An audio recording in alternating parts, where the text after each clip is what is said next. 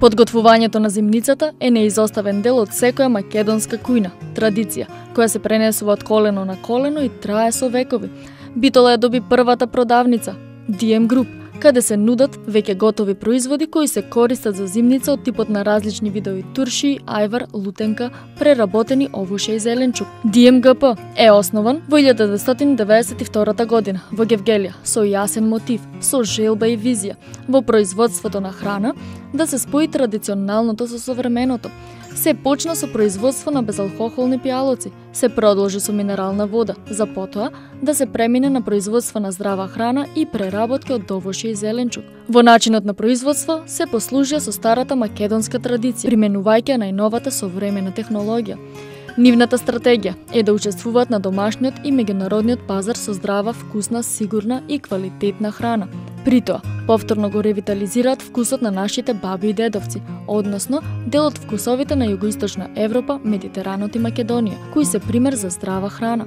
Производството се остварува со користење на стари традиционални домашни рецепти и користење на суровини од нашето пошироко подрачје. Многу од начините за квалитетна и успешна обработка на суровините се уште се применуваат на традиционален начин, посебно ДМГП модернизирани. И тоа на печење на суровината, на рачно лупење, на режење, на сечење, на дробење на суровината и така натаму, со што финалниот производ добива оригинален квалитет и вкус.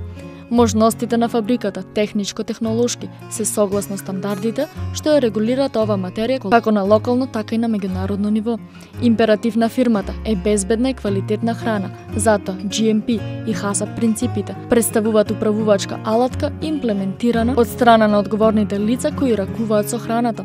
Нивниот менаџерски тим постојано ги следи научните достигнувања во оваа област и истите перманентно ги остваруваат Менеджментот за квалитет во производството на храна го опфаќа целиот синџир од фарма до трпеза.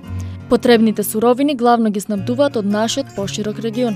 Тоа обично се мали традиционално организирани земјоделски стопанства, специализирани за производство на свеж зеленчук во ограничени количини. При тоа секогаш квалитетот, аромата и карактеристичниот вкус на производите се стандардни и традиционално специфични. За обработка во ДМГП се користат исклучиво зрели, созреани во најприродни услови, здрави, односно квалитетни плодови, При тоа се запазуваат сите потребни правила и стандарди за добивање квалитетни суровини, како домашни, така и меѓународни.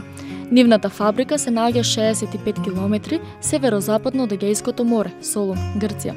Суровините доаѓаат од идеално еколошки здрава средина, тоест воопшто немаат индустрија што загадува.